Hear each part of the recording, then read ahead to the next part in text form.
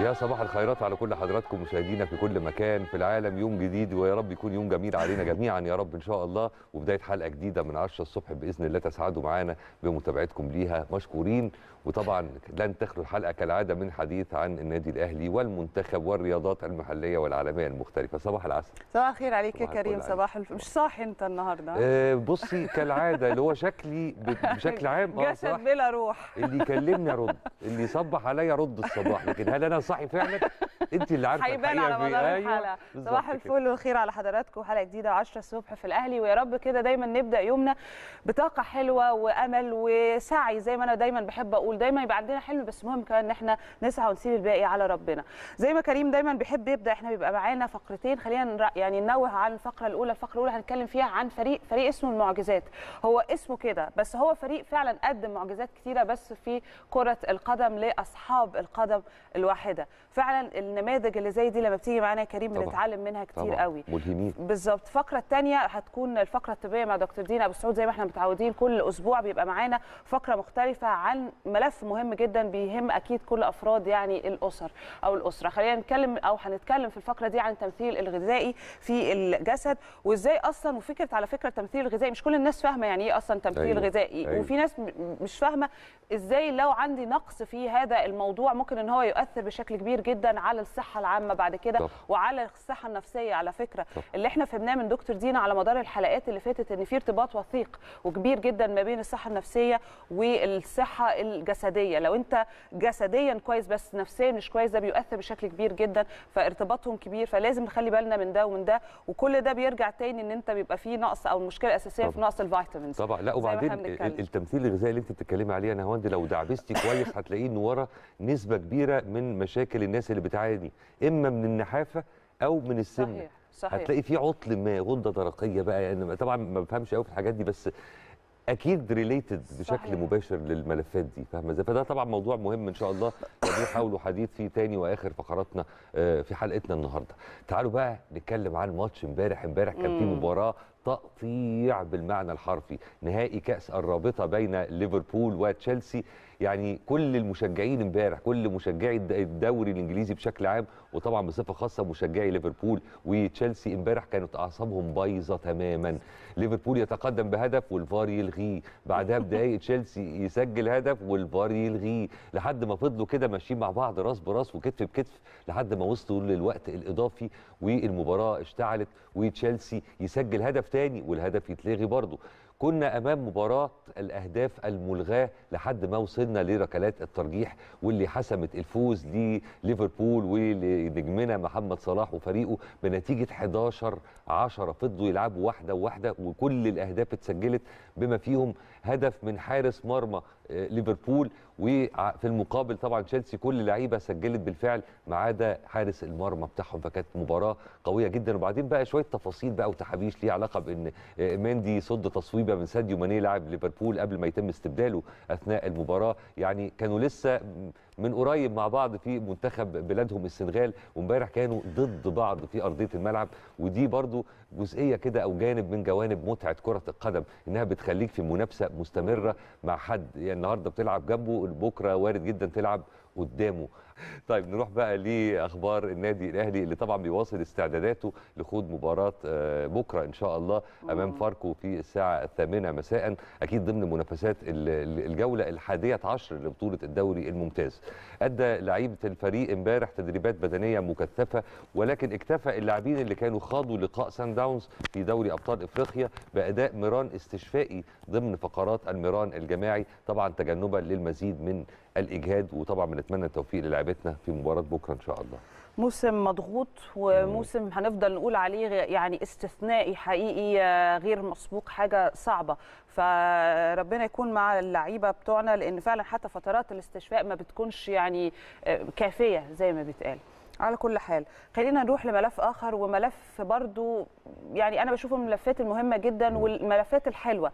امبارح انطلقت منافسات بطولة كأس العالم لرماية البندقية والمسدس. اللي بتستضيفها مصر بميدان الرماية الجديد في مدينة مصر الدولية للألعاب الأولمبية بالعاصمة الإدارية.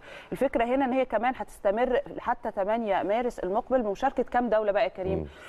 دي اللي بنتكلم عنها السياحة الرياضية. 65 دولة جايين لك لغاية هنا هايل. عشان نشهد تضافر الجهود طبعا لإخراجها في أفضل صورة استكمالا لسلسلة النجاحات اللي بتحققها الدولة المصرية في استضافة كبرى الأحداث والبطولات الدولية طبعا بفضل ما تتمتع به من مقاومات وبنية تحتية رياضية مقامة وفق المعايير طبعا الدولية تحت قيادة سيادة الرئيس. فحاجة يعني أعتقد مشرفة وحاجة حلوة جدا وده بيرد أو بيخليك بص يا كريم أنا دايما بحب أقول جملة الرد على الأرض. يعني ممكن أي حد يجي يقول لك أنت ما تقدرش تعمل كذا أنت ما عندكش إمكانيات أنك تعمل كذا أنت حدودك هنا أو إمكانياتك هنا.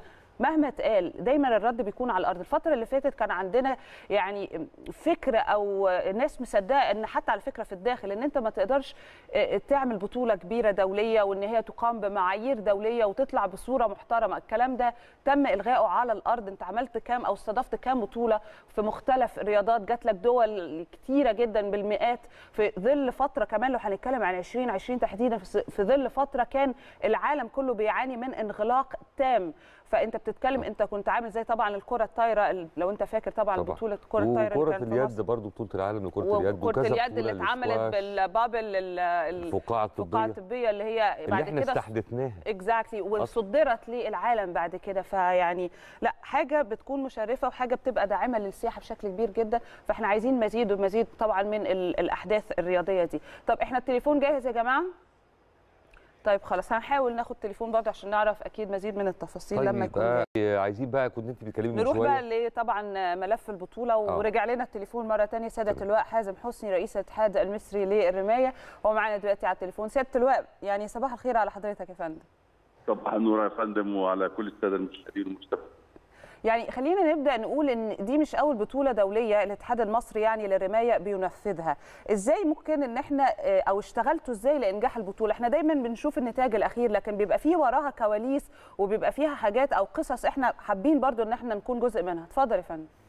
إحنا عندنا طبعا استعدادات البطولة دي بتكون يمكن قبلها من ثلاثة إلى خمس شهور استعدادات علشان نستطيع إن إحنا نخرج البطولة على أحسن مظهر.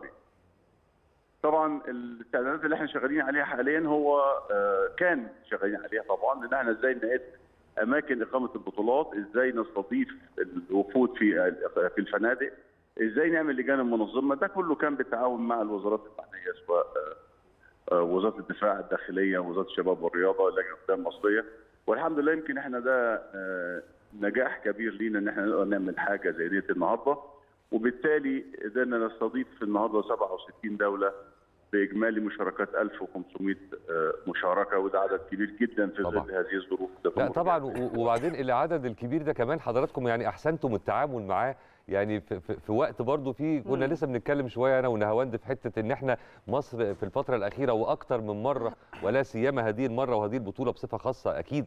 يعني في, في الوقت اللي العالم كله بيبقى قاعد بيلغي حتى الكثير من الفعاليات والبطولات الرياضية المختلفة مصر بتنجح وبتبهر العالم في التنظيم. فإحنا بنتكلم على رقم يشكل يعني عقبة إلى حد ما على الصعيد الإداري والفني وحتى اللوجستي. فإزاي تعاملتم مع الملفات دي يا فندم؟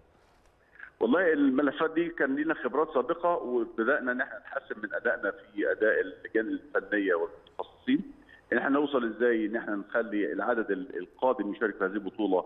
نستطيع إن إحنا نتغلب على المشاكل لأن زيادة العدد بيزيد من عدد المشاكل اللي كانت ممكن أن تظهر لكن الحمد لله تغلبنا عليها بإن أعداد اللجان المنظمة كانت يمكن ضعف أو ثلاث مرات من اللجان السابقة عشان نستطيع نستضيف مثل هذه البطولة. وإنها تكون ذاكرة البطولات الكبيرة اللي بيستضيفها اتحاد مصر ما وجمهوريه مصر العربيه.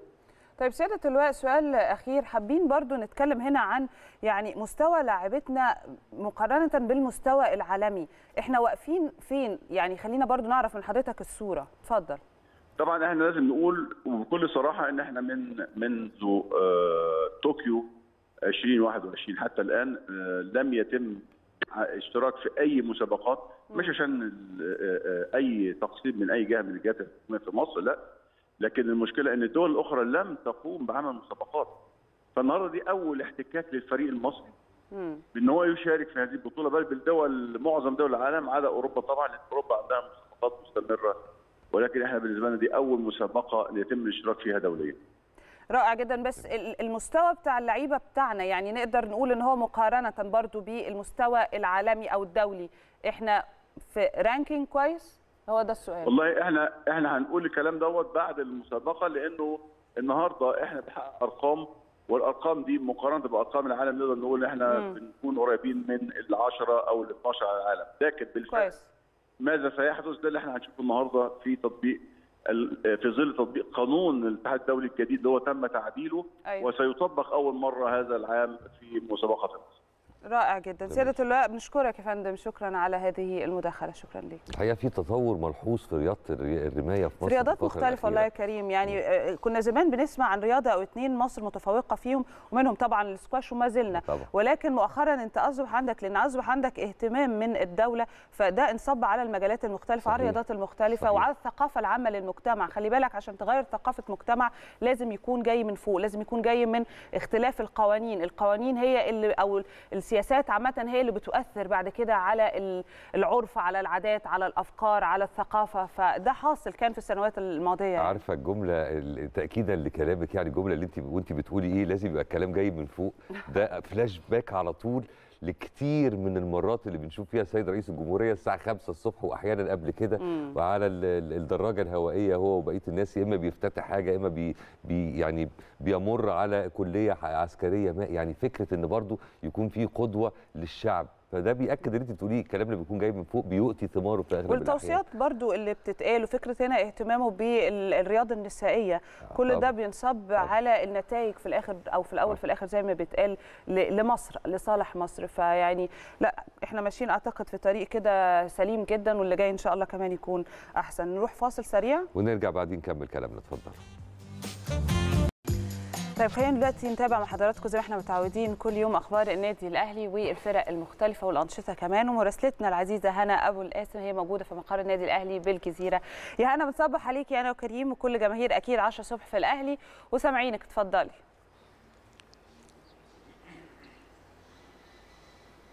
يا صباح الخير عليكم وعلى كل مشاهدي قناة الأهلي في كل مكان. يوم جديد و10 الصبح في الأهلي وزي ما عودناكم دايما هنقل لكم كل الأخبار المتعلقة بالنادي الأهلي وفرقه الرياضية المختلفة. خلوني في البداية أبدأ بالفريق الأول لكرة القدم. النهارده الفريق هيواصل تدريباته. تجمع الفريق هيكون الساعة 12 الظهر والمران هيبدأ الساعة 1 طبعا الظهر. استعدادا بقى لمباراة غدا اللي هتكون أمام فريق فاركو الساعة 8 مساء ضمن منافسات الجولة ال11 من بطولة الدوري يعني طبعا يا نهاوند ويا كريم زي ما إحنا عارفين إنه الفريق كان واصل تدريباته امس بدون راحة سلبية بعد مباراة سان داونز خليني أكلمكم أكتر عن ميران أمس. يعني مستر بيتسو موسيماني المدير الفني للفريق كان حريص كالعادة على عقد محاضرة مع اللاعبين قبل انطلاق الميران ليحدثهم بقى عن بعض الأمور الفنية وكمان عن أهمية غلق مباراة سان داونز يعني زي ما إحنا عارفين إنه النادي الأهلي دايما بينافس على جميع البطولات سواء بطولة الدوري أو بطولة دوري أبطال إفريقيا. يعني طبعا بنتمنى كل التوفيق لرجال النادي. الأهلي في مباراة غدا أمام فريق فاركو. خلونا كمان نروح لناشئين كرة القدم بالنادي. الأهلي يعني فريق 2003 قدر أمس يحقق فوز على فريق المقاولون العرب بنتيجة 2-0 ده طبعا كان ضمن منافسات الجولة ال21 من بطولة الجمهورية. يعني كان أحرز أهداف النادي الأهلي اللاعب رأفت خليل في الدقيقة 26 وبعدها مباشرة قدر يحرز اللاعب محمد أحمد الشهير بشرقية في الدقيقة 28 الهدف الثاني من اللقاء وبكده يكون رفع النادي الأهلي عدد نقاطه ل 43 نقطة. كمان الحقيقة ناشئين 2005 قدروا يحققوا فوز على فريق الإسماعيلي خارج آه، أرضهم بنتيجة 2-1 ده كان ضمن منافسات الجولة ال 22 من بطولة الجمهورية. يعني كان افتتح الإسماعيلي التسجيل لكن رجال آه، شباب النادي الأهلي قدروا يعملوا كامباك ويفوزوا في المباراة. يعني كان آه، أحرز هدف التعادل التعادل اللاعب فارس خالد في الدقيقة ال 34 وقدر بقى يحرز هدف الفوز اللاعب سيف الطيب في الدقيقة 77 وبكده يكون قدر يرفع ناشئين كرة القدم بالنادي الأهلي فريق 2005 عدد نقاطهم ل 46 نقطة. خلونا بقى نروح لأخبار الفرق الرياضية الأخرى ونبدأ من الفريق الأول للسباحة التوقيعيه اللي كان مشارك طبعا في بطولة سبورتكس artistic swimming اللي كانت مقامة في الإمارات. الحقيقة إنه الفريق الأول بالنادي الأهلي عمل الحقيقة بطولة كبيرة جدا ومشرفة جدا أشاد بيها الجميع. يعني خلوني أكلمكم أكتر عن اللي قدر يحققه النادي الأهلي. قدر يحقق مركز أول عمومي فرق فرق وأيضا مركز أول 18 سنة فرق وأيضا مركز أول فردي عمومي عن طريق اللاعبة ملك إياد ومركز ثاني فردي عمومي عن طريق اللاعبة جايلان شتلة. يعني طبعا بهنئ الفريق الأول للسباحة التوقيعيه بالنادي الأهلي. الحقيقة إنه دايما كالعادة النادي الأهلي بيشرف وبيرفع اسم مصر في جميع المحافل الدولية. نروح بقى للعبة كرة الطايرة. سيدات كرة الطايرة النهاردة هيكون عندهم مباراة أمام فريق الشمس. في الشمس المباراة هتكون الساعة 8 مساء ضمن منافسات بطولة الدوري. يعني إن شاء الله طبعا بنتمنى لهم كل التوفيق يقدروا يفوزوا في المباراة ويقتنصوا ثلاث نقاط جداد. كمان رجال كرة الطايرة عندهم النهاردة مباراة مع فريق الاتحاد السكندري. المباراة هتكون الساعة 2 العصر ضمن بقى منافسات الدور الترتيبي من بطولة الدوري. يعني دي طبعا تاني منافسة في الدور الترتيبي امس كانوا افتتحوا منافسات الدور الترتيبي من بطولة الدوري. قدروا يحققوا فوز على الطيران بنتيجة 3-0 الحقيقة إنه رجال كرة الطايرة عملوا مباراة كبيرة جدا. يعني قدروا يختموا الشوط الأول بنتيجة 25 13 الشوط الثاني بنتيجة 25 21 والشوط الثالث والأخير بنتيجة 25 14 بتمنى لهم طبعا كل التوفيق ان شاء الله يقدروا أيضا يحققوا فوز في مباراة اليوم. أخيرا بقى نروح للعبة كرة اليد. بالتحديد رجال رجال كرة اليد النهارده طبعا هيواصلوا تدريباتهم هيكون عندهم تدريب الساعة 4 العصر. يعني الحقيقة إن هم عندهم الفترة المقبلة مباريات كتير جدا ومباريات مهمة. خليني طبعا أقولها لكم يا نهاوند ويا كريم يعني المباراة الأولى هتكون يوم 3 3 هتكون مباراة أمام فريق سبورتنج بسبورتنج ضمن بقى منافسات دور الثمانيه من بطولة كأس مصر. بعد كده هيكون عندهم يوم 9 3 و10 3 و11 3 المرحلة الأولى من الدور الأخير من بطولة الدوري. وبعد كده هيكون عندهم يوم 29 33 3 31 3 المرحلة الثانية من الدور الأخير من بطولة الدوري واللي طبعا هيتحدد من خلالها بطل الدوري لهذا الموسم. يعني طبعا بنتمنى كل التوفيق لرجال كرة اليد. إن شاء الله يكونوا هم أبطال الدوري لهذا الموسم ونكون بنحتفل في 10 الصبح في الأهلي. يعني دي كانت أبرز أخبار الفرق الرياضية من داخل مقر النادي الأهلي بالجزيرة. والآن العودة ليكم مرة أخرى في الاستوديو. إحنا كمان أكيد بنتمنى الفوز للنادي الأهلي وإن شاء الله تكوني معانا مرة ثانية هنا وتبلغينا بقى هذا الخبر الخاص بفوز الفرق المختلفة كمان في النادي. شكرا ليك يا هنا طيب نروح بقى مع حضراتكم من أهل الجزيرة إلى موقع البوابة نيوز. وزميلتنا العزيزة مريم سميح هي موجودة هناك دلوقتي عشان تطلعنا على آخر الأخبار وأهم المانشيتات في كافة الصحف والمواقع الرياضية المختلفة. ومنهم مانشات ليه علاقة بأول تصريح قاله محمد صلاح بعد الفوز بكأس الرابطة. مريم صباح الفل عليكي اتفضلي. صباح الخير عليك يا كريم. بصبح عليك يا نهاوند وبصبح على كل مشاهدي قناة الأهلي في كل مكان. يوم جديد جولة صحفية جديدة من داخل مقر جريدة البوابة نيوز. والبداية طبعا زي ما انت قلت يا كريم خبر بخصوص صلاح واحتفاله بكأس رابطة الأندية الإنجليزية المحترفة. والبداية من روسيا اليوم صلاح يعلق بكلمتين على تتويجه بكأس الرابطة مع ليفربول. احتفل النجم المصري طبعا محمد صلاح والمحترف ضمن صفوف ليفربول على موقع إنستغرام بتتويجه يعني لقب كأس رابطة الأندية الإنجليزية المحترفة على حساب تشيلسي. ده طبعا أمس الأحد بعدما فاز ليفربول وتوج بكأس الرابطة بركلات الترجيح بنتيجة 11 10 زي ما إحنا شفنا طبعا بعد انتهاء الوقتين سواء الأصلي أو الإضافي. وبعد المباراة نشر محمد صلاح صورته أكيد بكأس الرابطة. وأيضا صورة أخرى من احتفاله مع زملائه في يعني غرفة خلع الملابس. وعلق قائلا بكلمتين فقط هما وان داون أو واحد أخطر آخر وده طبعا تعليقا على يعني لقب آخر حققه محمد صلاح مع ليفربول لأن طبعا يعني منذ انضمام محمد صلاح لليفربول في عام 2017 ده اللقب الخامس ليه مع ليفربول. كان اللقب الأول في دوري أبطال أوروبا عام 2019 وأيضا كأس العالم للأندية في 2019 والدوري الإنجليزي الممتاز في عام 2020 وأيضا السوبر الأوروبي في عام 2020 ومن اليوم السابع أرقام استثنائية لكيليان مبابي مع باريس سان جيرمان هذا الموسم. يقدم طبعا جناح باريس سان جيرمان كيليان مبابي موسما استثنائيا مع نادي العاصمة الفرنسية وفقا لما حققه من أرقام منذ انطلاق الموسم الجاري 2021-2022 وقاد مبابي طبعا الفريق للفوز على سانت تيان بنتيجة 3-1 في المباراة اللي جمعتهما أمس أول السبت بالجولة ال 26 بالدوري الفرنسي. وده طبعا حيث سجل هدفين ووصل مبابي إلى الهدف ال 14 في مسابقة الدوري الفرنسي هذا الموسم من مجموع 24 مباراة حتى الآن وقدم 10 تمريرات حاسمة. والأول مرة يحقق مبابي هذا الرقم في مسيرته الكروية بأن يسجل ويصنع أكثر من 10 أهداف في موسم واحد بالدوري الفرنسي. وبشكل عام خاض مبابي 34 مباراة بكافة المسابقات مع باريس سان جيرمان خلال الموسم الجاري أحرز 24 هدف و17 تمريرة حاسمة.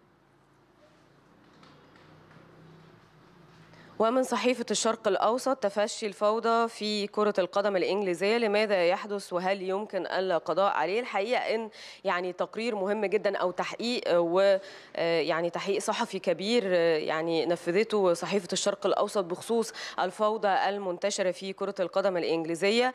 وهناك مستويات مقلقة من الفوضى في المباريات هذا الموسم حيث يتم تجاهل القواعد والقوانين ويتم انتهاك تدابير السلامة ويجرى اعتقال بعض بعض المشجعين المشاغبين بشكل منتظم وحدث شجار بين مشجعي توتنهام وويست هام في منافستين مختلفتين وألقيت مقذوفات من المدرجات في ملعبي إيفرتون وتشيلسي. كما ألقيت أيضا ألعاب نارية واقتحمت الجماهير ملاعب نورويتش سيتي وليستر سيتي وأرسنال وتم اعتقال 18 شخص مؤخرا. وطبعا الحقيقة إن أسند يعني تحقيق الشرق الأوسط كل هذه الأسباب يمكن لتفشي فيروس كورونا خلال العامين الماضيين وبسبب كمان إن يعني الجماهير ما كانتش بتتفرج على المباريات في المدرجات لمدة 18 شهر ويمكن ده يمكن خلق نوع من الكبت لدى الجماهير وأيضا يمكن تناول يعني الكحوليات وكمان الكوكايين وده اللي قال عليه أو شهدوا كل اللي حضروا كل هذه المباريات. ويمكن اتكلموا عن إن هم كانوا بيدخلوا الحمامات الخاصة بالمدرجات وكانوا بيلاقوا إن الكوك أو الكوكايين زي المساحيق في هذه الحمامات. وأيضا اتكلموا عن تعامل الشرطة ويمكن ده خلق حالة من العدوانية الكبيرة وده طبعا وفقا لتصريحات كل يعني يمكن المحللين القانونيين في أمريكا. وأخيرا من الأخبار الاتحاد الدولي للسلاح مصر واجهتنا الكبرى في تنظيم البطولات العالمية. طبعا تلقت مصر اشادات موسعة من كافة الدول التي شاركت في بطولة كأس العالم لسلاح الشيش والتي أقيمت على مدار الأيام الثلاثة الماضية بصالة استاد القاهرة بمشاركة 177 لاعب من 33 دولة. وأشاد الاتحاد الدولي للسلاح بالتنظيم المبهر لمصر كعادتها في استضافة الأحداث الرياضية الكبرى في السنوات الأخيرة رغم الظروف طبعا شفنا إن يعني جميع الدول كانت بتغلق أبوابها أو كانت يعني بتفرض السيطرة وكانت بترفض إن هي تستقبل البطولات الدولية والعالمية بسبب طبعا الظروف الاقتصادية والسياسية وخاصة تفشي فيروس كورونا. ولكن رغم كل هذه الظروف قدرت مصر إن هي تحارب يعني هذه الظروف الاستثنائية وتستضيف عدد كبير من البطولات العالمية على أرضها. وده اللي قاله طبعا كافيرو جافيسي رئيس الاتحاد الدولي لسلاح الشيش واللي اتكلم إن مصر لديها إمكانيات كبيرة سواء الأماكن المخصصة وكمان الإمكانيات البشرية. وقال إن هو يعني الحقيقة وجد تعاون كبير جدا من قبل كل ال يعني القائمين على الاتحاد المصري لسلاح الشيش. دي كانت كل أخبارنا الصادرة صباح اليوم الاثنين من داخل مقر جريدة البوابة نيوز. بشكركم جدا. الكلمة لكم مرة أخرى. إحنا اللي بنشكرك جزيل الشكر زميلتنا العزيزة مريم سميحة على هذه التغطية الصحفية المميزة. الموضوع الخاص بالشرق الأوسط اللي هو كان بيتحدث عن فكرة تعاطي المخدرات اللي أدى إلى زيادة المعاناه المعارك في آه، يعني كرة القدم الإنجليزية بين المشجعين. أعتقد حاجة غير مسبوقة. خلي بالك من حاجة ال- الجماهير أو جماهير الكرة الإنجليزية ده مش من عادتهم هم آه عندهم حماس بيكون آه، بس بيكونوا كانوا أو الفترة اللي فاتت يا كريم ملتزمين جدا باستثناء هذا الموسم. آه، لا آه، في حاجة مش مظبوطة ابدا هذا الموسم في كرة القدم الإنجليزية. الكحوليات موجودة. الكوكايين دي مش من الثقافة بتاعه ال- الإنجليز ابدا أو الجماهير الإنجليزية وإن هو يكون بهذا الشكل. فحاجه غريبة جدا تغيير واضح جدا للمنظومة أو منظومة الكره كرة القدم في إنجلترا. لكن أعتقد إن لازم يتم حسمها مقدم يعني في الفترة اللي جاية لأن مش طبيعي ابدا هذا السلوك. هو غير مقبول في أي دولة. بس تحديدا لما نيجي نتكلم عن الجماهير الإنجليزية ده شيء غريب برضو يعني. صحيح. وبعدين هم يعني من زاوية تانية هم الحقيقة طول عمرهم مشهورين بالشغب في المدرجات وفي الملاعب وبره الملاعب. يعني دايما أي لقاء حتى في كأس عالم بتبقى طرف فيه إنجلترا وتخسر لأي والله وساعات بتبقى كسبانة كمان. بيقلبوا الدنيا. بعدين كل فترة والتانية يطلع منهم مجموعة كده تلاقي جروب متطرف جدا. آه، ما تفهميش بقى خلفيته أيديولوجية ولا رياضية ولا إيه ملتهم بالظبط بس تلاقي كل شوية group يطلع لك وبيعملوا كل أشكال الترهيب على الفرق المنافسة. في مؤخرا في آخر كام سنة في حاجة اسمها red heads أو rednecks مش متأكد من الاسم يعني. بس برضو جماعة من فصيل كده من أيوه بس دي. بتبقى فئات أنا بتكلم على الجمهور الإنجليزي عادة ما عندوش هذا النوع من الشغب اللي بنشوفه يعني إحنا ما شفناش قبل كده آه بيبقى في تعصب شديد طبعا ولكن. مش بيوصل لدرجة ال- ال- المشهد اللي إحنا شاهدناه بالأمس على سبيل المثال وفكرة تعاطي الكوكايين حتى كان رئيس آه، طبعاً، الوزراء طبعاً. هناك كان بيتحدث إن ده غير مسبوق فكرة هنا الكوكايين تحديدا والمخدرات فلا دي في مشهد نوعية. مختلف في مشهد مختلف صحيح. فعلا يعني على كل حال آه، هو موسم غريب على كل الدول وعلى كل المنتخبات يعني. طيب الفقرة الأولى انتهت بما تحمله طبعا من أخبار مختلفة ويعني مانشيتات وحالات الطقس والبطولات المختلفة وغيره. هنروح بقى فاصل وهنرجع الفقرة الأولى زي ما نوهت أنا وكريم في بداية الحلقة. فريق المعجزات هو منتخب زي ما كنا بنقول كرة القدم لأصحاب يعني القدم الواحدة. تاني النماذج اللي زي دي بتعلمنا قد إيه مفيش حاجة مفروض تكون اسمها مستحيل في الدنيا. طول ما أنت عندك إرادة لازم تلاقي طريق. مفيش حاجة اسمها أصل أنا ظروفي كده. اصل هي دي التحديات اللي أنا بواجهها. مفيش حاجة اسمها كده ابدا. ربنا خلقنا في الدنيا دي علشان حتى لو واجهنا صعوبات وحطينا في اختبارات لازم إن إحنا نطلع منها وفي الآخر نوصل للسعادة ونوصل للنجاح اللي إحنا يعني عايزينه في حياتنا. فنماذج رائعة جدا هتنضم لينا في الفقرة الأولى ونسمع ونتعلم. فاصل ونرجع نكمل. يا أهلا بيكم مرة ثانية قبل ما نطلع الفاصل الأخير اللي فات ده نهاد كانت بتكلم حضراتكم عن الصلابة وعن التحدي وعن الإرادة وعن العزيمة. ما تيجوا نشوف ترجمة حرفية لكل حاجة كلمت عنها نهاوند من خلال ضيوفنا اللي هينورونا في أول فقرة حوارية في حلقتنا النهارده. ثنائي مميز جدا محمد غريب وأحمد سعد لاعبي فريق المعجزات. صباح الفل عليكم واهلا بيكم. نورنا ربنا ومشرفينا يخليك أنت اسم على مسمى فريق المعجزات واللي إحنا كمان عرفناه قبل ما ندخل الهوا إن محمد تحديدا آه، بيبعت لنا وبيتابع البرنامج أيوة بشكل كبير. ده حاجة. أكيد تسعدنا جدا. وأحمد. أنت منورنا. بجد أنتوا. مثال زي ما إحنا قلنا كده حاجة يعني انسبايرنج أو حاجة إحنا ملهمة ملهمة ملهمة. فعلا. فبس ممكن نبدأ معاكم من الأول خالص القصة لو تسمحوا لنا يعني. ونعرف أصلا سبب الإصابة لو هبدأ بيك يا أحمد آه، أنا طبعا في البداية كنت إنسان عادي جدا بمارس حياتي طبيعي جدا وأثناء شغلي حصل لي حادثة أدت لفقد طرف آه، رجلي الشمال حصل لي بتر في رجلي الشمال أنا كان في دماغي إن خلاص أنا كده حياتي اتدمرت مش هقدر أقف على رجلي تاني مم. وفي الفترة دي طبعا كنت خاطب آه، فحصل إن أنا قلت لخطيبتي لا خلاص كده مش هنكمل ومش هقدر بقى إن أنا أفتح بيت وأعمل أسرة طب والكلام هي ده ما كله. كانتش موافقة يعني؟ لا بالعكس والله ما أنا لسه دورها جاي طبعا. آه. هي رفضت إن هي تسيبني وكملت معايا للنهاية وكده واتجوزنا وخلفنا ما وكده. ما شاء الله. آه. وبالنسبة طبعا للكره أنا من عشاق الكره طبعا ما فيش حد ما بيعشقش الكره صحيح. فكنت بلعب وقبل كده كنت مقدم في نادي في المنيا. وخلاص تم اختياري والموضوع كان تمام. بس طبعا بعد الحادثة فقدت إن أنا ألعب كرة تاني.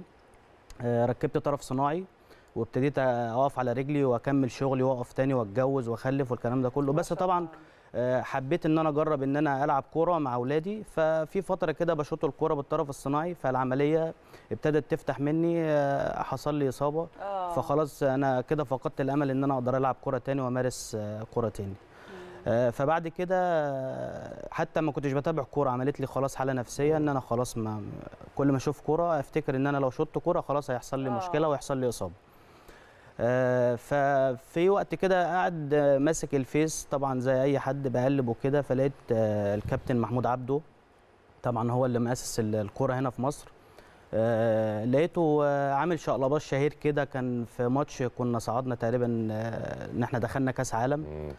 آه، فتواصلت معاه ولقيته بيلعب وكده. فبقول له حضرتك هو إزاي في لعبة؟ الراقص بالعكاز آه الراقص بالعكاز طبعا مشهور جدا. ودلوقتي هو محترف في تركيا بيلعب في نادي في تركيا. فتواصلت معاه قلت له يا كابتن أنتوا إزاي بتلعبوا برجل واحدة وكده؟ و... قال لي طب تعالى وممكن رحب بيا جدا وتعالى وجرب وكده. فجبت لبس رياضي وجبت كوتشي وابتديت إن أروح. طبعا كان وزني من القعدة وإن أنا ما بتحركش كان آه. وزني زيادة جدا. ابتديت أقلل وزني. المهم رحت وابتديت ألعب معاهم. في البداية أشوط الكرة مثلا ألاقي نفسي وقعت مش عارف اجري إزاي أتحرك بعكاز وأجري برجل واحدة إزاي يبقى عندي ارتكاز أنطق كورة والكلام ده كله. فالموضوع كان صعب معايا جدا. فروحت أول تمرينة فقلت له معلش أنا مش هقدر أكمل وكده. قال لي لا ما ما بقاش عندك كده لازم يبقى عندك روح وكده.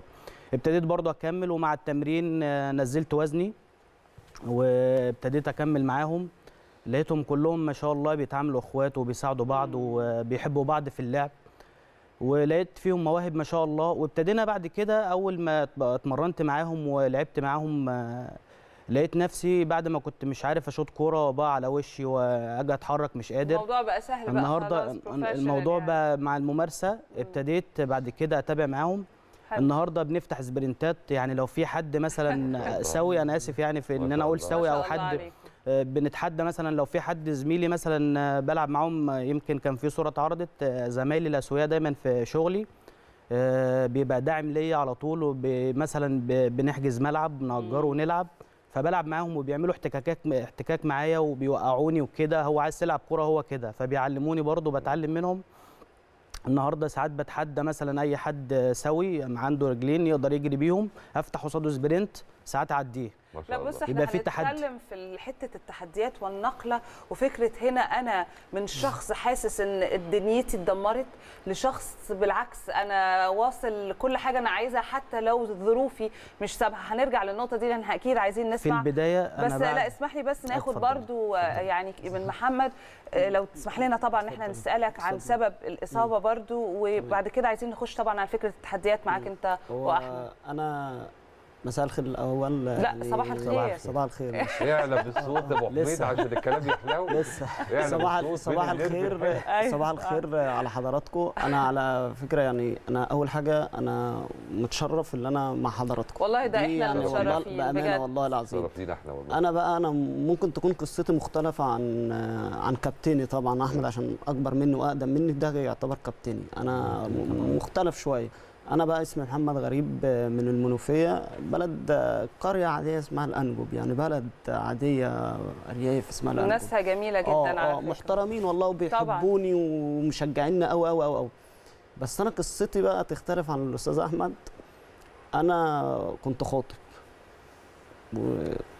وخلاص وحياتي كانت مستقرة والحمد لله و... بس خطيبتي سابتني ثالث يوم الحادثة.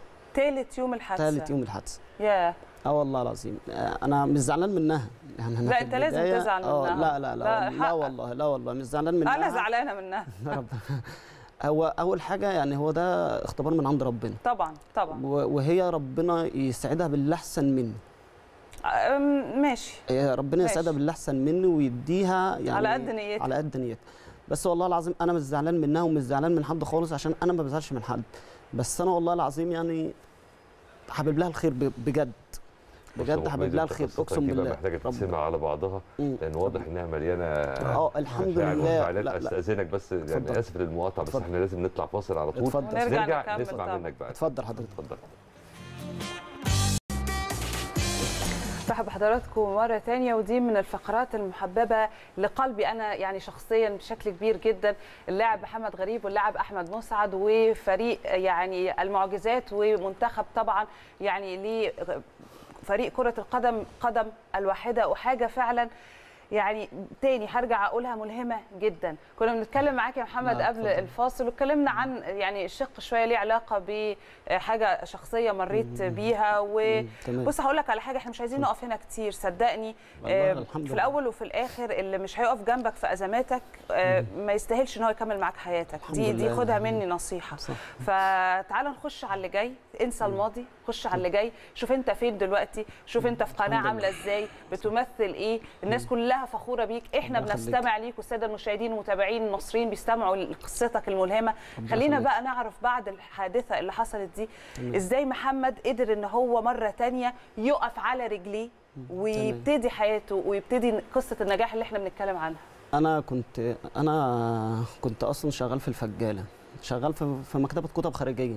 وكنت مسافر الساعة 7 الصبح آه، اتزحلقت من القطر. آه، عملت حادثة ورحت المستشفى.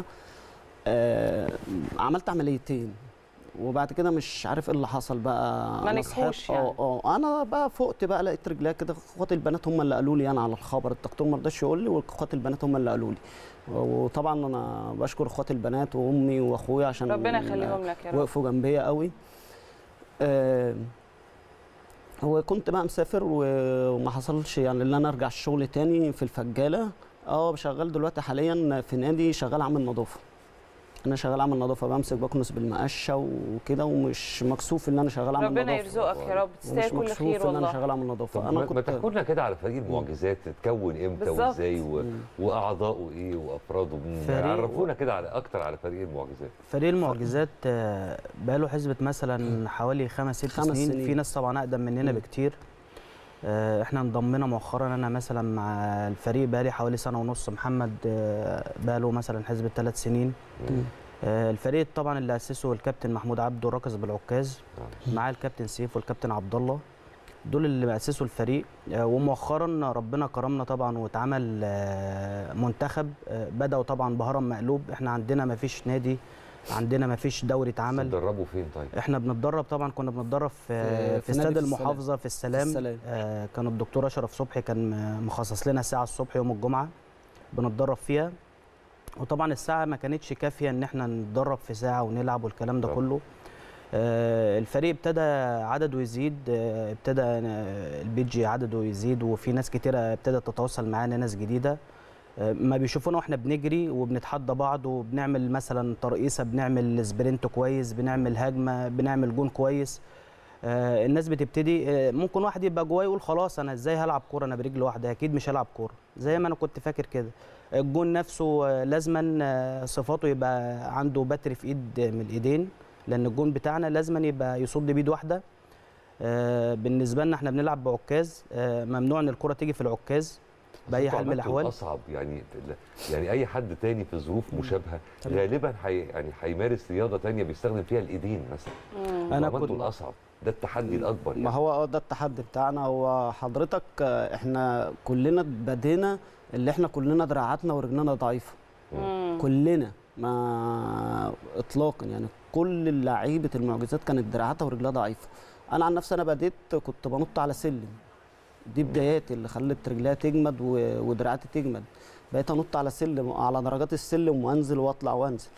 لغاية بديت ارجع تاني اللي أنا اتدرب اللي أنا المس الكرة برجلي. مم. اول ما لمست الكرة برجليها خلاص بديت ان- انطلاق بقى في الكورة. انما أنا اساسي في في البداية أنا كنت حارس مرمى أصلا وأنا سليم. يعني أنا وأنا سليم كنت حارس مرمى. القدم لأصحاب القدم الواحده آه، القواعد- تحت مظلة مثلا الاتحاد لا للأسف والله يا؟ فندم للأسف هي- للأسف يا أستاذ كريم للاسف لسه- آه، لسه ما اتعملهاش اتحاد مع إن الكورة دي. آه، أصحاب الثقة الواحدة طبعا ليها في كل الدول اتحادات وليها أندية وليها منتخبات إحنا المرة الوحيدة اللي ربنا كرمنا السنة اللي فاتت دي آه، اتعمل منتخب بمساعدة طبعا الناس اللي هي المسؤولين وسافرنا وحققنا بطولة برضو ما شاء الله يعني المركز. السابع ولعبنا مع أبطال عالم والكابتن سيف واخد أحسن حارس آه، في تنزانيا في في أمم أفريقيا في. البطولة الأخيرة. وعندنا ما شاء الله لعيبة برضو محترفين الكابتن محمود ده برضو محترف النهارده برضو في تركيا وإحنا ما شاء الله كل يوم بيجي لنا لعيبة جديدة آه، هم بيجوا يلعبوا معانا بيبقى بيحس إن هو فاته كتير فعلا يعني إزاي أنا ب- برجل واحدة وهلعب كرة معاكم وهتحرك وهحط جون والكلام ده كله وبنعمل مسابقات وبنختار أفضل لاعب أفضل هداف أفضل مهاجم. وبنعمل الكلام ده كله. يمكن أنا برضو آه، زمايلي الأسوياء بصمم إن أنا ألعب معاهم بعكاز وبيعملوا احتكاكات معايا ودايما ما بيلعبوش من غيري. دايما بيقولوا لي لا لازم تيجي تلعب معانا مستواك بيتحسن. وفي ناس منهم يقول لي لا يعني عنده حاجة جوه أنت إزاي هت... هتعمل سبرنت وتعديني؟ لا. بالعكس أنا عندي رجليه تعالى كده نجري قصاد بعض. فاجري قصاده أسبقه. هو من جواه بيبقى طب إزاي انت أنت أيوة، إزاي إزاي فعلا. بتجري بعكاز فهو من جواه لما بيعمل معايا أول تحدي هو فاهم إن هو لما يجري خلاص هو هيفوتني بالعكس أنا اتدربت واتمرنت واشتغلت على نفسي كتير فبفضل الله الحمد لله النهارده أنا مبسوط من نفسي جدا ودايما. بقول ل- لأي حد صاحب من ذوي الهمم أنت بطل حكايتك صح. أنت اللي تقدر تعمل من 100%. نفسك بطل أنت لو قعدت في البيت وقلت خلاص أنا حصل لي بتر أنا حصل لي إصابة أنت يستحيل هتتقدم لو قعدت اعتمدت إن أنت مش هتشتغل مش هتتجوز مش هتخلف يستحيل. صحيح. لازم يبقى قدامك هدف تقدر تعمل كل كل حاجة. أنا النهارده آه، عندي طرف صناعي بلبسه ببقى ماشي طبيعي جدا ما حدش بياخد باله منه. يمكن بعض ناس كتيرة جدا أنا كنت شغال مندوب مبيعات والشغلانة دي لازما بتبقى يعني مهمة جدا بتنقل من مكان لمكان. في ناس قعدت معايا سنين لحد النهارده ما يعرفوش إن أنا مركب طرف صناعي. وابتديت اشتغل وابتديت ابني ابني مستقبلي واتجوز. والكلام ده كله. رائع جدا. يعني. طب محمد عايزين برضو نسمع منك سريعا كده. انت يعني انت ربنا يكرمك وشغلتك شغلانة محترمة. الحمد بس لله. محمد راسم لنفسه إيه بجوار كرة القدم؟ انت نفسك آه، تحقق إيه؟ أنا نفسي أحقق آه، أول حاجة يعني مش آه، مش هزار والله. أنا نفسي ألعب في النادي الأهلي.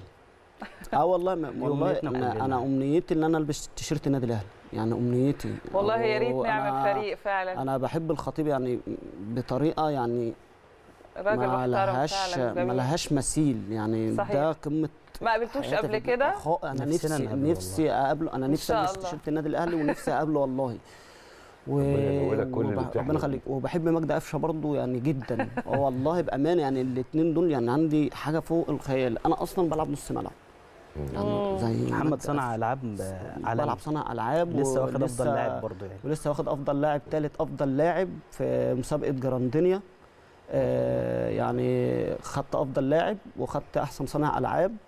و ويعني أنا بشكر برضو الكابتن سيف والكابتن عبد الله والكابتن محمود وبشكر آه، آه، المؤسسة اللي كانت عاملة لنا المسابقة. كانت مؤسسة سمير وعلي هم اللي كانوا عاملين المسابقة ديت. أنا خدت أفضل ثالث لاعب ومبسوط جدا بالمسابقة. آه، بس أنا يعني حياتي ونفسي يبقى ليا تيشيرت برضه يعني تيشيرت خاص ليا ألعب وألعب في نادي. آه وألعب في نادي. ويبقى بقى ليا يعني زي نظام أنا رايح النادي وجاي من النادي إن شاء الله يحصل. وكابتن يدربنا خاص بيا تستحقوها لأن أنتوا يعني آه، عندكم المهارة ال- و- أنا والله وتقدروا تحققوا ده آه، ليه لا أنا أنا عن نفسي أنا والله حياتي يعني حياتي أنا كنت أنا كنت حارس. يعني لما بديت اللعب أنا بادئ اللعب مع ناس يعني حريفة كورة أنا حارس مش مش لاعب في الملعب. أيوه. لعبت في في نص الملعب ولعبت في صانع ألعاب ثبتت نفسي الحمد لله. مش مش مش, مش أنا اللي أقول برضو أنا اللي أثبت نفسي أو كده هو ال- ال- الجمهور التقييم آه أو التقييم أو. المدرب أو اللعيبة اللي معايا زمايلي. أنا كل ماتش بطلع أسأل زمايلي أنا كنت إيه النهارده؟ برافو عليك آه والله العظيم. أنا حتى في. المسابقة طلعت بقيت أسأل زمايلي. أنا أستحق ال- الجايزة. كلمت الكابتن أحمد قلت له والنبي وحياة عيالك أنا أستحق الجايزة أنا آه والله يعني طب أنا عايزة أقول عايز لكم على أطول. حاجة هو الف يعني المنتخب أو الفريق المعجزات ده أنتوا. بتتمرنوا في القاهرة ولا فين لا في القاهرة في القاهرة في بت... القاهرة. أنت بتيجي أنا من منوفية وباجي القاهرة على طول بصوا بقى أنا هتفق معاكم على حاجة. آه، لو نيجي نصور آه، تقرير خارجي معاكم أنا وكريم ونشوفكم وأنتوا بتلعبوا نلعب معاكم أنا شايفة لينا أعتقد دي. تبقى ده, حلوة ده جدا اول حاجة شرف, شرف لينا. ويعني ده وعد لينا والله مع فريق شرف لينا. أنا هتشوفوا هتشوفوا مواهب نعمل حلقة خارجية يعني معاكم تبقى حلوة حلقة جميلة جدا أكيد طبعا وأنا نفسي ألعب ماتش في نادي الأهلي والله العظيم إحنا بأمانة. نفسنا الامنيه الحقيقية اللي هي. إن إحنا يبقى نفسنا يبقى عندنا نوادي زينا زي الدول اللي بتهتم. بال- باللعبة دي أندية آه، يعني ال- الأهلي الزمالك بص المقاولين الناس إحنا قلنا ده في القناة وإن شاء الله يكون في وإحنا متأكدين إن في. مسؤولين بيسمعونا وإن شاء الله ده يحقق يعني وكمان لما نصور التقرير خارجي ويتعرض كمان عندنا يوصل أمنية لمسؤولين والله كمان بقى يعني والله. نفسنا ندخل النادي الأهلي نتصور مع اللعيبة ده سهلة جدا ن- نفسي. نظبطها بنشكركم ترفع من. للأسف شكراً لحضرتك والشكر. خلاص. ربنا يخليك. هو انتهى بقاله شوية حلوين بس إحنا والله مش. عايزين كنا وإحنا نزود. كمان بنسمعكم لغاية الآخر أنتوا نورتونا وشرفتونا. وإن شاء الله نشوفكم على خير بإذن إحنا الله اللي اتشرفنا شكراً بحضرتك. والله كل. التوفيق ليكم يا رب في. اللي جاي بإذن الله هنروح فاصل. سريع ونرجع مع حضراتكم لاخر فقرة في حلقة النهارده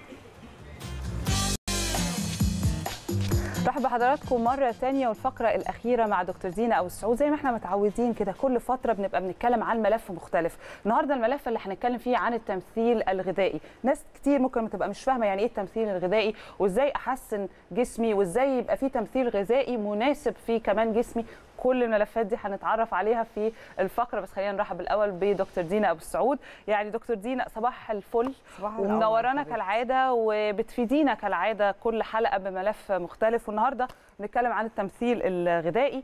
آه، نعرف الناس في الأول يعني إيه تمثيل غذائي؟ التمثيل الغذائي يعني آه، آه، تفاعلات. هي مجموعة تفاعلات كيميائية بتحصل في كل خلية في جسمنا. لإنتاج الطاقة آه، آه، سواء بقى حركة أو تنفس أو نمو و- وعملية التمثيل الغذائي. آه، إزاي نقدر نحول الأكل والشرب اللي إحنا بناكله لطاقة؟ الطاقة مهمة جدا عشان التفكير عشان التركيز عشان الحركة عشان النمو. وطول ما إحنا عايشين لازم يبقى فيه تمثيل غذائي. من غير تمثيل غذائي مفيش حياة. ده التعريف البسيط للسادة المشاهدين. طيب وفي حاجة اسمها الأيض معدل آه. آه ده ده مصطلح يمكن طبي بس آه. ممكن نفهم عنه هو الايد الميتابوليزم طبعا آه، المعدل ده بيبقى آه، إن أنا أشرحه بيبقى صعب جدا لأن هي ليها آه، معادلات تانية خالص لكن آه، إزاي نقدر نحسن التمثيل الغذائي مهم جدا إن إحنا نعرف يعني إيه تمثيل غذائي. زي ما أنا قلت وإزاي نقدر نحسن تم- التمثيل الغذائي وإيه الأعراض قصور التمثيل آه. الغذائي. ده مهم جدا يا نهاوند. طيب التمثيل الغذائي آه، إزاي نعرف آه، آه، أعراضه؟ لو عندي اضطرابات في الوزن فجأة. بتخن بسرعة أو بحس آه، بسرعة ولا آه، ملهاش علاقة؟ هو أكتر سمنة. ده من أكتر الحاجات ال- اللي بيبان عندنا مشكلة في التمثيل الغذائي. طيب إزاي نقدر إن إحنا نعوض ده؟ وإزاي نقدر نحسن ال metabolism؟ يمكن في آه، آه، آه، مقولة خاطئة إن إيه ده؟ أنا هاخد فيتامينات ده أنا هتخن بالعكس الفيتامينات فيها vitamins مهمة جدا لتدعيم الطاقة. مهم قوي إن أنا أعرف أدعم الطاقة. مهم الأكل اللي أنا باكله الخلية تعرف تحولها من من من من من ده لطاقة. بس ممكن أسألك حاجة يا دكتور بمناسبة فعلا ال vitamins اللي بتتخن البعض بيقول إن ال vitamins للشعر اللي هي بتبقى concentrated اللي هي آه، مركزة للشعر بتتخن مش بتتخن بتفتح actually الشهية. هو الحلو في ال vitamins إنها بتحسن ال mood. آه. و once إن mood ك اتحسن يبقى شهيتك آه، آه، كويسة وطاقتك كويسة. أنا مش أنا ضد إن أفقد الشهية.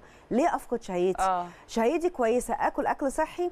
آه، يمكن أنت قصدك يمكن على البيوتين لو تركيزه عالي. بالعكس آه، ال vitamins بتحسن ال mood. يمكن كمان لما بتلاقي عندي مشكلة اكتئاب أو ملل أو قلق بيحصل تخن على فكرة. آه. لأن أنت عندك نقص في vitamins مهمة جدا للتمثيل الغذائي اللي هو فيتامين B complex بكل مشتقاته. من أهم الفيتامينات اللي بتقدر تساعد على الحرق وتعلي لي ال metabolism يمكن الستات عندها مشكلة أكتر في معدل الأيض. ليه؟ لأن الراجل عنده عضلات أكتر آه، عنده كتلة العظم آه، أتقل من الست. أيوة. فالست بيحصل لها يمكن حتى بعد انقطاع الدورة بتتخن لأن هرمون الأستروجين بيقل. و once إن هرمون الأستروجين قل بيحصل إنها مم. بتتخن. ف... فلا أنا مش مع ابدا إن ال vitamins بالعكس ال vitamins بتعلي لي معدل الحرق جدا. ومن أهم آه، ال vitamins أو من أهم المكملات الغذائية اللي موجودة آه، في ال- في الصيدليات في مصر دلوقتي هو ألب مالتي فيت. يعني الب مالتي فيت مهم جدا لدعم التمثيل الغذائي. التمثيل الغذائي مش بس عشان إن أنا أخس هو ده ده رقم واحد. أيوة. لكن مهم حتى حركتك حركتك في التنفس. مهم لتركيزك. كل ده بنسميه تمثيل غذائي. الب مالتي فيت مهم جدا لدعم التمثيل الغذائي لاحتوائه طبعا هي دي العلبة يا نهاوند آه، العلبة نركز في تفاصيلها نركز في شكلها. ملناش أي آه، ملناش أي بديل. حلو بس أنا عايزة أقول لك على حاجة بقى يا دكتور كويس قوي إن أنا افتكرت دلوقتي لأن دي رسائل كان حد قايل لي أقولها لك أصلا. الأرقام اللي على الشاشة آه. أوقات بتبقى مغلقة أو محدش بيرد. آه. فيعملوا إيه الناس؟ واضح إن في ناس كتيرة. حابة إن هي فعلا تتواصل عشان تحصل على الفيتامين. آه، إيه بقى الحل؟ آه، الحل لأ هو آه، إحنا عندنا بدل التليفون ثلاثة نحاول نتواصل تاني آه، بس عليه. الأرقام تمام الأرقام- وشغالة لا لا. شغالة. دي حاجة مهمة نوضحها. برضه هو الأرقام دي للاستفسار فقط. إحنا موجودين في كل الصيدليات. حتى لو الرقم مشغول انزلوا الصيدلية اطلبوه. ما عنديش مشكلة. مم. طبعا الب مالتي فيت مرخص من هيئة سلامة الغذاء. مهم قوي أقول إن إن إن الب مالتي فيت مرخص من هيئة سلامة الغذاء. عشان يدي أمان لكل الناس اللي بتتفرج علينا انه آه، مرخص. يا جماعة ما تاخدوش اي حاجة من المكملات الغذائية ملهاش ترخيص. وما تمشوش ورا اي حد. ايا كان يقول لك وقف الدواء وخد فيتامين. ما فيش حاجة اسمها نوقف الأدوية. الأدوية هي رقم واحد في العلاج. الفيتامينات هي دعم التمثيل الغذائي دعم مم. المناعة دعم صحة الشعر والبشره البشرة ودعم تكوين خلايا الدم. فدي برضو point مهمة جدا. لأن آه، ألاقي حد يقول لك إيه طب إحنا نوقف إزاي يا جماعة هنوقف دواء يعني مثلا مرض السكر مثلا محتاجين الأدوية بتاعتنا زي الإنسولين وزي ال- الأدوية الثانية لكن الب مالتي فيت لا يتعارض مع أي دواء من أصحاب الأمراض كويس المزمنة. جدا. يعني الأرقام دي بيتم الاستفسار آه، منها وأعتقد كمان ممكن نحجز بيها بس هي ممكن يكون بس في الضغط ففي الضغط مشكلة بالظبط بس. بالظبط. هو بس. واضح إن في إقبال. دي حاجة حلوة آه، يعني. طبعاً. دي لا، حاجة لا، حلوة. الإقبال لا أنا شخصيا. بجد في ناس بتسألني يعني أنا بقول لك الحاجات اللي, اللي الم- كان بوصل لك رسائل الناس آه. لأن أنا ما أعرفش أكيد مش هديهم رقم حضرتك. فبقول لهم الأرقام مش شغالة. لا أكيد شغالة. لا شغالة. ممكن يكون بس سبب الضغط وقت الحلقة صح. إحنا موجودين على فكرة ال call center ده للاستفسار فقط مم. مش للبيع. موجودين 24 أو ساعة. الحجز يعني ده أو ده آه آه، موجودين 24 ساعة. ممكن وقت الحلقة تلاقي في ضغط عالي قوي. فكلموا في أي وقت غير وقت الحركة الحلقة. بالظبط. ال call center موجود ويقدر يقول لكم موجود في صيدلية إيه جنبكم. لأن إحنا في خلال إن شاء الله شهر هنوفر في كل محافظات مصر ايا كانت حتى البعيدة. حلو جدا.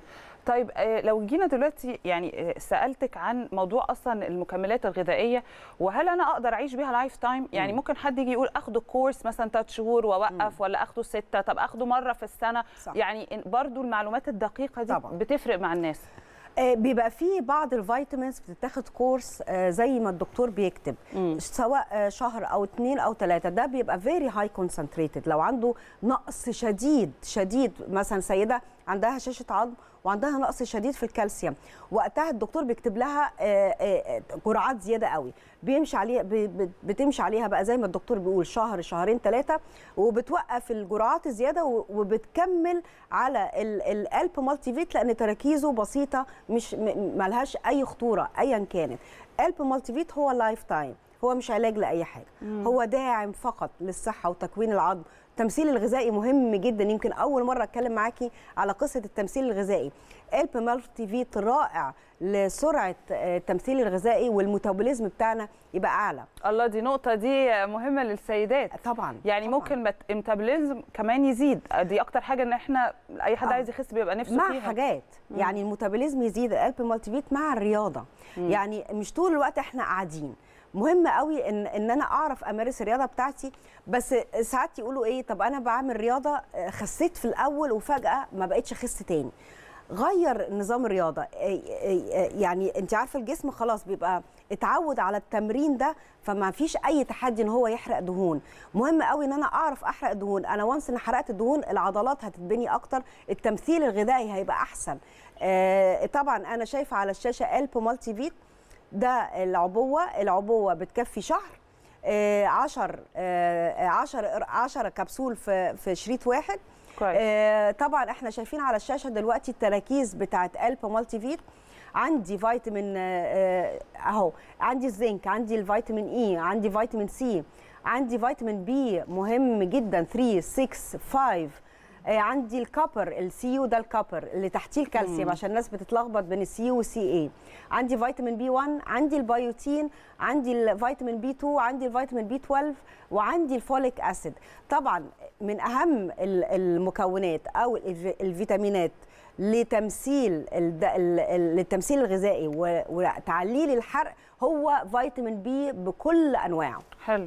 حلو جدا. بصي بقى عندنا أسئلة مشاهدين كتيرة و... ولسه عندنا أسئلة. هنحاول علشان وقت الفقرة. تعالي نروح للاستاذ محمود خليل بيقول صباح الخير على حضراتكم. أنا من كفر الشيخ. ممكن ألاقيه عندنا في الصيدليات ولا لازم نجيبه من القاهرة؟ ده أول حاجة. وبعدين بيقول أنا ابني في ثانوية عامة وبيشتكي من إنه بينسى. أعتقد أنا نفس الشكوى على فكرة ومش بيعرف يركز. وهو بيذاكر فهل ممكن تساعدينا؟ آه، طبعا قلب مالتي فيت موجود في كل محافظات مصر. يعني كفر الشيخ واصل كفر لغاية الشيخ وصل. وصلنا في okay. صيدليات كتيرة جدا جدا. آه برضو نعمل screenshot على آه قلب مالتي فيت عشان ما يبقاش فيه إحنا ما عندناش بدايل. موضوع التركيز مهم قوي إن أنا أدعم التركيز بتاعي بقلب مالتي فيت لاحتوائه على كذا حاجة. من أهم ال vitamins المهمة للتمثيل لل... لا للتركيز هو فيتامين B complex لأنه بي- بيدعم لي جدا صحة الأعصاب. وفيتامين ه مهم قوي عشان آه. بيشتغل as antioxidant وبيقلل الالتهابات فأعتقد إن قلب مالتي فيت هيبقى كويس جدا لتحسين الذاكرة وعدم النسيان. طيب رنا منصور بتقول أنا نص شعري وقع مش عارفة أعمل إيه. ساعدوني. نص شعرها وقع. طبعا أنا عندي vitamins مهمة داخل قلب مالتي فيت لصحة الشعر زي الزنك زي ده ال copper برضو المكملات الغذائية عندها فيها نقص فإحنا بنكملها يعني. ده لو ما عندهاش مرض معين. أيوه صح، يعني صح. ممكن يبقى عندها مثلا مشكلة في الغدة الدرقية لازم تعمل تع- تروح لدكتور وتعمل تحليل غده درقيه ممكن يبقى في مشكلة أمراض مناعية اللي بتهاجم ال- البصيله الشعر وتوقعها. فلازم أهم حاجة أتأكد إن ما عنديش مرض محتاج دواء. لكن قلب مالتي فيت بيدعم الشعر جدا جدا جدا. كويس قوي. آه، شيماء سمير هل قلب مالتي فيت ليه أي آثار جانبية على الجواز والحمل؟ وهل الجرعة بتختلف حسب العمر ولا لأ؟ قلب مالتي فيت ملوش أي أعراض جانبية اطلاقا آه، آه، هيبقى كويس جدا مع الحمل كمان لأن الحمل محتاجين كالسيوم محتاجين folic. acid فهيبقى آه، كويس ليها جدا وملوش أي أعراض جانبية اطلاقا ليها وما يعني السن أو العمر ما آه، لا هو هو كبسولة واحدة من آه، هو بيبتدي من 13 سنة نستخدمه لجميع الأعمار. كبسولة واحدة أعتقد إنها كفاية جدا جدا لأن هي التراكيز دي اللي إحنا محتاجينها okay. في اليوم. طيب هسألك سؤال أي حد دلوقتي ممكن يقول آه، يعني أو يجي في ذهنه. أنا دلوقتي خدت الفيتامين أو المكمل الغذائي ده. بعض الناس هتفتكر إن هو سحر. يعني أول ما هبتدي آخد يوم يومين ثلاثة طاقتي هتتحسن mood ي هيبقى أفضل آه، هبقى مركزة أكتر. الحاجات اللي هي already بيكملها أو بي- بيؤدي ليها يعني. آه، المدة قد إيه؟ اللي أنا ممكن أقول أنا فعلا حاسس إن أنا شخص مختلف لما أبتدي أواظب على قلب مالتي في أهم حاجة يا نهاوند فعلا مواظبة. يعني ما أخدوش مرة في الأسبوع آه، واستنى. وأقول أنا مش لاقي نتيجة ليه؟ بالظبط. يعني. أو بالظبط. اولا سعره كويس جدا. أنا يعني مش محتاجة احوشه لأنه سعره في متناول الجميع. كويس. فمهم يعني الدكتور فاضل تقول لك بكام؟ خلاص. يعني خلاص يعني طالما حضرتك بتأكدي على متناول الجميع فكده. حتى الناس اللي هي يعني محدودي الدخل يقدروا إن هم يحصلوا عليه بسهولة جدا بالظبط. للأسرة كلها. بالظبط آه، آه، آه، طبعا سعره كويس جدا آه، هشوف النتيجة في خلال أسبوع على فكرة الطاقة وال- والتركيز بشوفه في خلال أسبوع آه، ممكن تحسين الوجه أو صحة البشرة أكتر شوية حلو والشعر حلو، يعني حلو. ممكن آه، تحسين آه، بصيلات الشعر في خلال أسبوعين ثلاثة بلاقي تحسين كويس جدا أهم حاجة إن أنا أواظب عليه أستخدمه مرة واحدة في اليوم وهو lifetime هو مش التركيزات مش عالية إن أنا آخده شهر أو شهرين وأوقف. هو lifetime تركيزاته كويسة جدا آه، مناسبة جدا لكل الناس بلا استثناء. عايزين بس نأكد على حاجة برضو تاني لأن بيتبعت أسئلة. أنا بنفسي بقى أنا مش دكتورة كنت ببقى عايزة أدخل أرد آه. فبقول هستنى لغاية لما دكتور دينا تبقى معانا. آه، برضو حد بيجي يربطه مش فاهم إن المكمل الغذائي ده حاجة والدواء ده حاجة تانية. آه. يعني في ناس حتى لما بقى أنا بخش أتابع كده ردود الأفعال فيجي حد يقول لي طب هو الدواء ده يا أستاذة؟ هو مش دواء هو أصلا الب مالتي فيت مش دواء. فمعلش النقطة دي نركز عليها أكتر دي شوية. نقطة مهمة قوي يا نهاوند مهمة جدا. الدواء هو العلاج لأي مرض ايا كان. ويا ريت يا جماعة ما, ما, ما نمشيش ورا كلام أي حد ايا كان. يقول لك وقف دواء. إزاي هنوقف دواء؟ آه عندي أدوية سيولة مهمة عندي أدوية ضغط عندي أدوية قلب عندي أدوية سكر عندي أدوية هرمونات. للستات. عندي أدوية كتيرة جدا. لا ما فيش حاجة اسمها prescription الدكتور دي أنا بالنسبة لي رقم واحد. قلب مالتي فيت ليس علاج لأي مرض وليس دواء. هو فقط آه، آه، الفيتامينات اللي ما بقدرش أكلها من الأكل لأن يمكن الفيتامينات معظمها الجسم ما بيصنعهاش. فإن أنا مش قادرة أعرف آكل من الأكل الصحي أو آه، آخد الكمية المطلوبة يوميا. أنا بستخدم قلب مالتي فيت هو اسمه مكمل غذائي وليس دواء. دي معلومة مهمة جدا وكل مرة يا نهواند يا ريت برضه لا لا تفكريني ده. أساسي صح كده. آه. طيب هنروح معلش للرياضيين شوية. أنا حتى يعني أصدقاء ليا في الجيم وغيره آه، بشوفهم بياخدوا مكملات غذائية. إزاي أعرف المكمل الغذائي الأنسب ليا؟ وليه قلب مالتي فيت مش مكمل غذائي تاني؟ آه، آه، آه، طبعا قلب مالتي فيت هيبقى داعم للرياضيين جدا لأن الرياضيين محتاجين آه، فيتامين B complex عشان صحة أعصابهم. لو عايزين يشيلوا أوزان تقيلة وإيديهم ما ترتعش لازم الأعصاب تبقى قوية. محتاجين زنك طبعا لأن الزنك هو اللي بيريح لي العضله بعد بعد التمرين. ومحتاجين ياكلوا بروتينات زي البيض حلو قوي ليهم. آه، على فكرة البيض مهم جدا للدعم الغذائي يمكن يعني عايزين برضو نقول إيه إيه الأكلات بس البيض المهمة. المسلوق ولا المس- البيض اللي لا. بزيت لا. و... لا، لا، لا. ومشروم عارف وبسطرمة عارفة بيقولوا لي إيه طب خلاص أنا عايزة أخس ما أفطرش لا دي مصيبة إن أنا ما أفطرش أيوه لا صح ال- صح. الفطار الصبح الصبح هو اللي بيدعم لي التمثيل أي الغذائي. حاجة بقى آكل أي حاجة أنا لا عايزاها ما ما أكلش أي حاجة لا لا لا لا، لغاية لا. هنا ما أكلش ثلاثة أربعة رغيف عيش آه بلدي وأقول أنا بالظبط دي الأدوية اللي بتدعم لي ال- ال- لا طبعاً. موضوع بعد قوي أيوه. فمهم قوي للتمثيل الغذائي السلمون عشان الدهون الصحية. مهم جدا زيت الزيتون عشان الدهون الصحية. الجزر الموز البروكلي مهم السبانخ. آه، المشروبات يقولي لي طب خلاص عرفنا الأكل. طبعا الفراخ مهمه اللحوم البيضاء آه، آه، المحار العشب البحر كل ده مهم.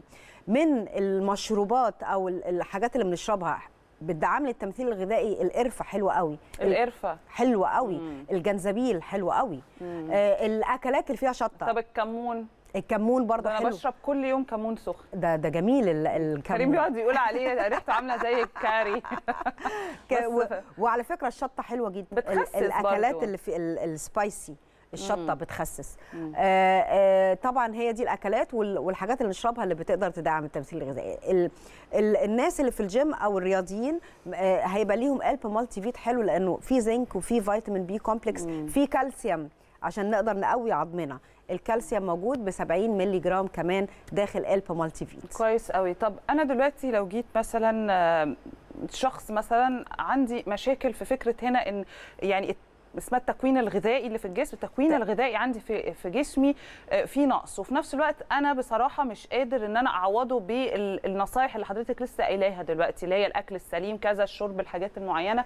وما عنديش وقت وحياتي سفر والناس زي دي موجودة كتير جدا. آه، لو أنا دلوقتي جيت قلت لشخص زي ده أو, أو نصحته نصيحة أقول له كل عادي مثلا بال lifestyle بتاعك اللي هو مش مش سليم بس على الأقل صلح وخد قلب مالتي فيت كمكمل غذائي يعني نعمل على الأقل. balance ده مهم جدا طبعا إن إحنا نقدر نعمل balance لأن فيتامين B هو اللي بيحول لي البروتينات والدهون لطاقة فالأكل اللي فيه بروتين أو حتى دهون بيقدر فيتامين B complex يحوله لي لطاقه ومفيش مشكلة إن إحنا نلعب شوية رياضة. ونشرب مية كويس. أو نتحرك في البيت عارفة إحنا أصلا حتى أيوة. وإحنا في بيتنا بنقعد. نطلب من الناس قاعدين ما. قاعدين ما بنتحركش قدام التلفزيون. فمهم برضو الحركة. على طول بقول أنا على طول في الحركة بركة. نتحرك شوية ونستخدم قلب مالتي فيت ده مهم. والسيدات اللي بعد انقطاع الدورة بتلاقيهم بيتخنوا. يعني دي برضو مشكلة إن هم بيعانوا من السمنة فلأن هرمون الإستروجين آه بيقع. فإحنا فعلا نأكد على النقطة دي بالظبط قوي مهم جدا. كويس جدا. وال- والضغط العصبي بيعلي لي لا دي الكورتيزول. بقى مش هنلاقي لها دي مش هوعدك إن ليها حل. يعني نحاول ده إحنا عايزين نحاول. سحر. آه نحاول. الضغط خلاص العصبي ده. ناخد قلب مالتي فيت بقى. فعلا هيقلل. آه, آه طبعا. يا بيدعم جداً. أجيبه حالا. بيدعم جدا التمثيل لا فعلا الفترة اللي إحنا فيها دي على الأصعدة كلها سواء ناس في الدراسة ناس بتشتغل ناس بتدرس ناس متجوزة ناس يعني مرتبطة نا- أهالي. كله عنده الشد العصبي ده آه، للأسف طبعاً. الشديد مؤخرا بقينا نسمع أطفال نسمع شباب بيتكلموا في النقطة دي نسمع المفروض عواجيز فوق سن المعاش يكونوا مرتاحين يكون لا صح. القصة فعلا محتاجة حاجة مهدئة شوية بس معلش لو ت... هنختم بالسؤال ده إيه اللي ممكن أو إيه مكونات قلب مالتي فيت اللي ممكن تهدي لي شوية الأعصاب بس في أقل من دقيقة من أهم الفيتامينز آه، vitamin B complex. مهم جدا جدا لأن هو اللي بيدعم لي الأعصاب قوي وبيدعم لي التركيز وحتى صحة العين يعني بتلاقي ساعات بيحصل blurred vision من, بالظبط. من أهم الفيتامينز للاسترخاء هو vitamin B وأكيد موجود داخل قلب مالتي فيت المرخص من هيئة سلامة الغذاء. وعلى طول بقول ما ناخدش أي حاجة إحنا مش عارفين ترخيصها. والحلو في هذا المكمل إنه موجود في الصيدليات وده يديني أمان. أنت عارفة يا نهاوند ما فيش أي دواء أو أي آه، مكمل غذائي موجود على الصيدلية في ال shelf ملوش ترخيص. صح فدي ده أمان. نقطة مهمة جدا. دكتور دينا بتنورينا كالعادة. ميرسي، وأنا ميرسي. بستفيد قبل أي حد كمان. والسادة المشاهدين والمتابعين في كل مكان أكيد بيستفيدوا. ولسه في حلقات كتير وملفات كتيرة جدا هتكون معانا خلال الأسبوع ده والأسبوع اللي جاي إن شاء الله مع دكتور دينا لغاية دلوقتي أنا خلاص بقى هنهي الفقرة. ونشوفكم إن شاء الله بكرة في حلقة جديدة. أنا وكريم. مع السلامة.